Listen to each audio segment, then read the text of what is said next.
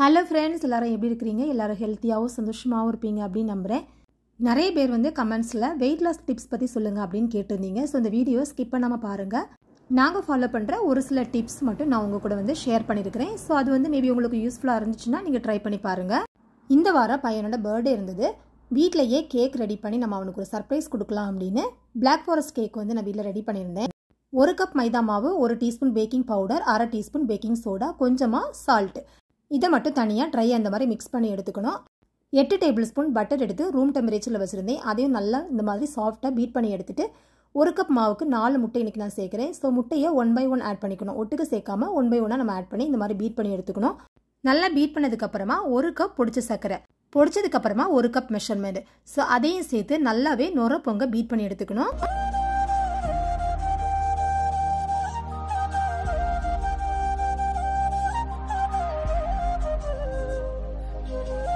இந்த ஸ்டேஜில் ஒரு டீஸ்பூன் வேனிலா எசன்ஸும் ஆட் பண்ணியாச்சு. மாவு மிக்ஸ் பண்ணுறப்ப ஒரு ரெண்டு tablespoon cocoa powder add பண்ணியிருந்தேன். அதை சொல்ல மறந்துட்டேன். எனவே நம்ம மிக்ஸ் பண்ணி வச்சிருக்கிற அந்த ட்ரை ஃப்ளார் இருக்குல்லே அதையும் இந்த டைமில் மறுபடியும் இந்த மாதிரி சீவ் பண்ணி நம்ம ஆட் பண்ணணும். அப்போ தான் எல்லா பக்கமே baking soda baking powder mix ஆகி கேக் வந்து நல்லாவே உங்களுக்கு சாஃப்டாக கிடைக்கும். மிதமான சூடில் அரைக்க பால் ஆட் பண்ணேன். மாவு ஆட் பண்ணதுக்கப்புறமா ரொம்ப ஹை ஸ்பீடில் நம்ம அடிக்காமல் லைட்டாக கொஞ்சம் மிதமாகவே மிக்ஸ் பண்ணிவிட்டு அதுக்கப்புறமா ஸ்பேச்சுலாவால் இந்த மாதிரி சாஃப்டாக ஒரு மிக்ஸ் கொடுத்துட்டு கேக் டின் ஃபர்ஸ்ட்லேயே நம்ம ரெடி பண்ணி வச்சுருந்தோம் இல்லையா? அதில் இப்போ வந்து ஆட் பண்ணியாச்சு. அவன் ஏற்கனவே ஒன் எயிட்டி டிகிரியில் டென் மினிட்ஸ் வந்து ப்ரீ ஹீட் பண்ணி வச்சுருக்கிறேன்.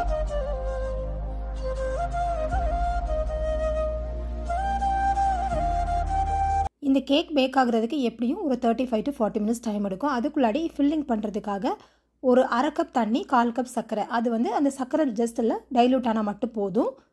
அஞ்சு டேபிள் ஸ்பூன் விப்பிங் க்ரீம் எடுத்து அதில் ஒரு அரை கப் சாக்லேட் வந்து ஆட் பண்ணி அவனில் ஒரு சிக்ஸ்டி செகண்ட்ஸ் வந்து நம்ம வச்சுட்டோன்னா மெல்ட் ஆயிரும். விப்பிங் க்ரீமில் நம்ம ஆட் பண்ணுறதுக்காக தான். செரி வந்து நம்ம டைரெக்டாக இந்த மாதிரி சேர்த்து பண்ணுறதுனாலும் பண்ணிக்கலாம். இல்லை நம்ம ரெடிமேடாக டின்னில் வரும். அது வேணாலும் வாங்கிக்கலாம். நான் இன்றைக்கி செரி கூட கொஞ்சமாக சர்க்கரை தண்ணி கொஞ்சம் ஒரு டேபிள் ஸ்பூன் லெமன் சேர்த்து அடுப்பை நல்லா லோ ஃப்ளேமில் வச்சு குக் பண்ணிட்டோன்னா நல்லாவே வந்து இது வெந்துடும்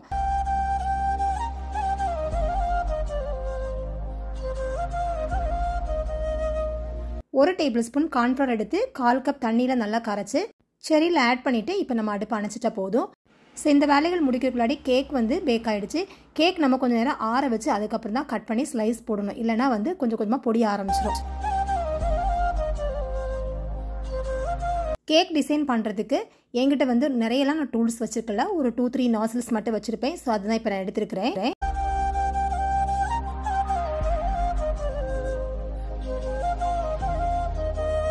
ஒரு கப் மாவில் நம்ம பண்ணக்கூடிய கேக் கண்டிப்பாக வந்து ஒரு ஃபைவ் ஹண்ட்ரட் எம்எல் அரை லிட்டர் விப்பிங் க்ரீம் நமக்கு தேவைப்படும். விப்பிங் க்ரீம் நல்லா ஸ்டிஃப் ஆகிறது வரைக்கும் நம்ம இந்த மாதிரி பீட் பண்ணி எடுத்துக்கணும்.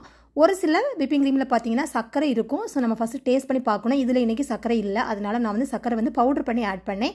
ஏற்கனவே நம்ம வந்து மெல்ட் பண்ணி வச்சுக்கிற சாக்லேட் அண்ட் விப்பிங் க்ரீம் இருந்துச்சுல அதையும் லாஸ்ட்டில் இந்த மாதிரி மிக்ஸ் பண்ணிட்டோன்னா கலர் அண்ட் டேஸ்ட் ரெண்டுமே நல்லாயிருக்கும்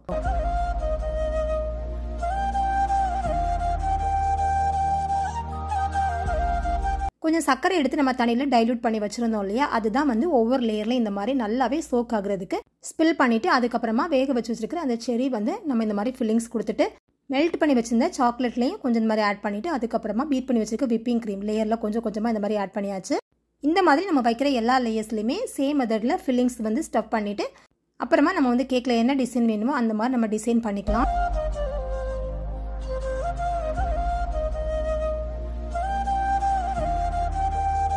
கேக்கில் சைடில் டிசைன் பண்ணுறதுக்காக ஒரு குட்டி ஸ்ட்ரிப்ஸ் இந்த மாதிரி பேக்கிங் ஷீட் எடுத்துகிட்டு கொஞ்சமாக பேக்கிங் சாக்லேட் கூட ஒரு டீஸ்பூன் அளவுக்கு எண்ணெய் சேர்த்து அவனில் வந்து நீங்கள் வந்து சூடு பண்ணிக்கலாம். இல்லைன்னா வாட்டரில் வந்து டபுள் பாயில் கூட பண்ணிக்கலாம். ஸோ இந்த மாதிரி மெல்ட் ஆகி வரும். அந்த டைமில் உங்களுக்கு பிடிச்ச மாதிரி சும்மா இந்த மாதிரி ரஃப்பாக ஒரு டிசைன் போட்டுட்டு ஒரு அஞ்சு நிமிஷம் விட்டுட்டிங்கன்னா காஞ்சிரும். அதுக்கப்புறமா நம்ம வந்து கேக்கில் வந்து இந்த மாதிரி சைடில் இந்த மாதிரி ஒட்டி விட்டுட்டோன்னா உங்களுக்கு விருப்பமான டிசைன் வந்து வந்துடும் பார்க்குறதுக்கு அழகாக இருக்கும். இது மேலே வந்து டிசைன் பண்ணுறது நம்ம எப்படி வேணாலும் பண்ணிக்கலாம். இந்த கேக் பண்ணுறப்ப பசங்க ரெண்டு பேரும் வீட்டில் இல்லாமல் அந்த மாதிரி பிளான் பண்ணி வச்சு தான் நான் வந்து பண்ணேன். தனியாக தான் நின்று பேக் பண்ணேன். அப்போ தான் நமக்கும் வந்து ஃப்ரீயாக பண்ண முடியும். பசங்களுக்கு ஒரு சர்ப்ரைஸாக இருக்குமே அப்படின்றதுனால தான் ஆஃபீஸ் எல்லாம் போயிட்டு வந்து நைட்டு தான் வந்து கேக் கட் பண்ணுற மாதிரி இருந்துச்சு. சர்ப்ரைஸாக கொடுத்தப்போ வந்து எதிர்பார்க்கவே இல்லை அவனுமே ரொம்பவே ஹாப்பி ஆகிட்டான் இந்த கேக் பண்ணுறதுக்கு பின்னாடி டைம் ஹார்ட் ஒர்க் எவ்வளோ போனாலுமே நமக்கு வந்து அந்த பசங்களுக்கு நம்ம கொடுக்கும்போது அவங்களோட ஃபேஸில் இருக்கக்கூடிய அந்த எக்ஸைட்மெண்ட் அந்த சந்தோஷம் இருக்கு இல்லையா? அதுதான் வந்து அம்மாங்களுக்கு நமக்கு வந்து ஒரு பெரிய ஹாப்பினஸ் இல்லையா? அவனுமே ரொம்பவே குஷி ஆகிட்டு அதுக்கப்புறமா அவனோட பர்த்டேக்கு அவனே ஹாப்பி பர்த்டே சாங் வந்து ப்ளே பண்ண ஆரம்பிச்சிட்டான்.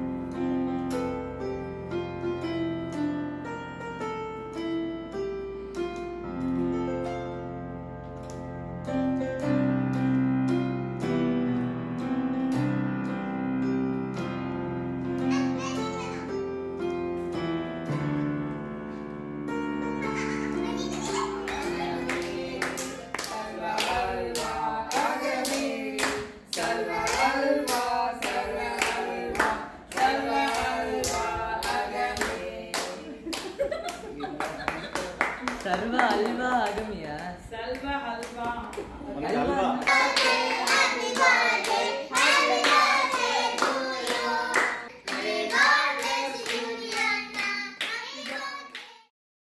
ஸோ என்னோட வெயிட் லாஸ் டிப்ஸ் என்னன்னு பார்த்தீங்கன்னா நான் வந்து ரொம்பவே வெயிட் லாஸில் அந்த மாதிரி போயிட்டு டயட்லாம் எடுத்து அந்த மாதிரி ஃபாலோ பண்ணுறதில்ல ஹஸ்பண்ட் வந்து கொஞ்சம் வெயிட் லாஸில் வந்து எப்போவுமே மேனேஜ் பண்ணிக்கிட்டே இருப்பேன். நம்ம எப்போவுமே வெயிட் லாஸ் வந்து ஃபுட் மட்டும் எடுத்து டயட்டில் போகணுன்னா ஹெல்த் வந்து நமக்கு வீக் ஆகிடும் ஒரு டைமில் வந்து ரொம்ப அதிகமாக வந்து வெயிட் போட்டோன்னா அதை கொஞ்சம் லாஸ் பண்ணிவிட்டு அதுக்கப்புறமா நம்ம வெயிட் மேனேஜ்மெண்ட்டில் ஹெல்த்தியாக நம்ம மெயின்டைன் பண்ணினா தான் நம்ம ஹெல்த்தியாகவும் இருக்க முடியும்.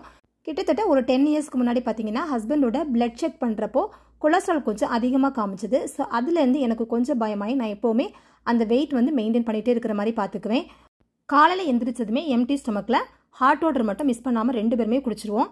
ஸோ அது வந்து ரொம்ப சூடாக இல்லை ஒரு மிதமான சூடு தண்ணி வந்து எப்போவுமே ரெகுலராக எடுத்துறது எவ்ரிடே வந்து காலையில் இந்த மாதிரி வெயிட் லாஸ் ட்ரிங்க்ஸ் அந்த மாதிரிலாம் கொடுக்குறதில்ல. நடுவில் நல்லா வந்து டைம் கிடைக்கிறப்ப இந்த மாதிரி நெல்லிக்காய் ஜூஸ் கருவேப்பிலை போட்டு நெல்லிக்காய் ஜூஸ் எடுக்கிறது அப்புறமா வந்து வெள்ளை பூசணிக்காய் இருக்கு இல்லையா அது வந்து ஜூஸ் பண்ணி கொடுக்குறது ஏபிசி ஜூஸ் வந்து போட்டு கொடுத்துக்குவேன். அதே மாதிரி வெந்தயம் வந்து நைட்டு ஊற வச்சு அந்த தண்ணி கொடுக்குறது இதெல்லாமே எம்டி ஸ்டொமக்கில் நம்ம எடுத்தால் தான் நமக்கு வந்து வெயிட் லாஸ் ஆகும். ஒவ்வொருத்தரோட உடல்வாக பார்த்தீங்கன்னா எவ்வளோ தான் வந்து வெயிட் லாஸ் டிப்ஸ் ஃபாலோ பண்ணாலும் வெயிட் வந்து கம்மியாகவே செய்கிறதில்ல அதுக்காக வந்து அப்படியே நீங்கள் டயட்டில் போனீங்கன்னா உங்கள் ஹெல்த் வந்து ஸ்பாயில் ஆயிரும். நீ அதையும் வந்து நீங்கள் கவனிச்சுக்கணும். நம்ம வந்து ஹெல்த்தியாக இருக்கணும். வெயிட்டில் வந்து குறைக்கிறத விட ஹெல்த்தியாக இருக்கிறது மெயினாக நம்ம பார்த்துக்கணும்.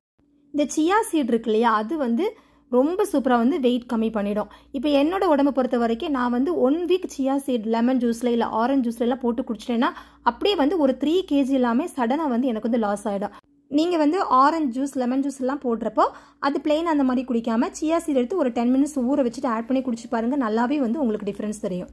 அப்புறமா நாங்கள் வந்து மில்லட் வந்து நிறையவே வந்து ஆட் பண்ண ஆரம்பித்தோம் ஸோ எல்லா நாளுமே வந்து ரைஸ் சாப்பிட்றத விட்டுட்டு நடுவில் நடுவில் வந்து மில்லட் வந்து நான் வந்து சேர்க்க ஆரம்பித்தேன் அது வந்து மில்லட் ரைஸாக மட்டும் இல்லை கிச்சடி தயிர் சாதம் அதே மாதிரி வந்து சப்பாத்தி இட்லி தோசை நூடுல்ஸ் அந்த மாதிரி எல்லாம் வந்து டிஃப்ரெண்ட் டைப்பில் நமக்கு இப்போ அவைலபிளாக இருக்குது. ஸோ அது வந்து நடுவில் நடுவில் நம்ம வந்து சேர்த்துட்டோம்னா கண்டிப்பாக வந்து வெயிட் வந்து மேனேஜ் பண்ணி போகலாம் கொலஸ்ட்ரால் அந்த மாதிரியான காரியங்கள்லாம் கொஞ்சம் நமக்கு வந்து எஸ்கேப் ஆகி போயிட்டுருக்கலாம் அடுத்தது வந்து ஓட்ஸ் ரெசிபீஸ் இந்த கருப்பு கவுனி இருக்குல்ல அதெல்லாம் வந்து ரொம்ப நல்லது வெயிட் லாஸ்க்கு ஸோ இதெல்லாம் வந்து நீங்கள் வந்து டெய்லியுமே இதையே வந்து டயட்டாக எடுக்காமல் நம்ம ரைஸ்லாம் நம்ம சாப்பிட்டுட்டு இருக்கிறப்போ நடுவில் வந்து ஒரு நேரத்து ஆகாரம் இந்த மாதிரி நம்ம எடுத்தோம்னா நம்ம வந்து சூப்பராக வந்து மேனேஜ் பண்ணி போகலாம் இது எவ்வளோ தான் நம்ம ஃபுட்டு வந்து கண்ட்ரோலாக இருந்தாலும் எல்லாத்துக்கும் மேலே கண்டிப்பாக வந்து ஒர்க் அவுட் நம்ம பண்ணி தான் ஆகணும். ஒர்க் அவுட் வந்து நம்ம டெய்லி வந்து ஃபாலோ பண்ண மாட்டோம். ஸோ அது வந்து நம்ம ஃபெயிலியர் ஆயிரும். அதுக்கு என்ன பண்ணணும்னா நீங்கள் வந்து யூடியூப்பில் லெஸ்லி வாக் அப்படின்னு அடிச்சிங்கன்னா ஒரு யூஎஸ்லேருந்து ஒரு lady twenty minutes walk one mile வாக்லாம் வந்து நடப்பாங்க. ஸோ அவங்க கூட நீங்கள் பண்ணி பாருங்கள் நாங்கள் அதுதான் ட்ரை பண்ணோம். ரொம்பவே சூப்பர் ரிசல்ட்டாக இருக்கும். அது நீங்கள் ட்ரை பண்ணுங்கள் ஹஸ்பண்டோட லஞ்ச் பாக்ஸ் பார்த்தீங்கன்னா ரைஸ் கம்மியாகவும் வெஜிடபிள்ஸ் வந்து ஃப்ரூட்ஸ் அதிகமாக கொடுத்து அனுப்ப ஆரம்பிச்சிட்டேன். ஆயில் டீப் ஃப்ரை எல்லாம் கம்மி பண்ணிட்டு ஏர் ஃப்ரைடு வீட்டில் வாங்கி வச்சுட்டு அவங்களுக்கு அந்த மாதிரி கொடுக்க ஆரம்பிச்சிட்டேன். நைட் டைமில் மோஸ்ட்லி லைட் ஃபுட் எடுத்துக்கோங்க. அதே மாதிரி ஹோட்டல் ஃபுட் அதிகமாக அவாய்ட் பண்ணிட்டு ஒரு மந்த்லி ஒன்ஸ் அந்த மாதிரிலாம் சாப்பிடுங்க தப்பில்ல டீ டைம் ஸ்நாக்ஸ் எடுப்பீங்களா அப்படின்னா கண்டிப்பாக நாங்கள் எடுப்போம். ஸோ அளவாக எடுத்துக்கிறது. ஒரு டம்ளர் டீ குடிக்கிறப்ப கொஞ்சம் அளவாக ஸ்நாக்ஸ் மட்டும் எடுத்துக்கிறது. இந்த வீடியோவை புதுசாக யாராச்சும் நீங்கள் நம்ம சேனல் பார்க்குறீங்கன்னா உங்களுக்கு தெரிஞ்ச வெயிட் லாஸ் டிப்ஸும் கமெண்ட்ஸில் வந்து எனக்கு கூட ஷேர் பண்ணுங்கள் வீடியோ உங்களுக்கு பிடிச்சிருந்துச்சா லைக் பண்ணுங்கள் கமெண்ட் பண்ணுங்கள் உங்கள் சஜஷன்ஸ் வந்து எனக்கு போஸ்ட் பண்ணுங்கள் உங்கள் ஃப்ரெண்ட்ஸ் அண்ட் ஃபேமிலிக்கும் என்னோட சேனல் மறக்காமல் ஷேர் பண்ணுங்கள் பாய்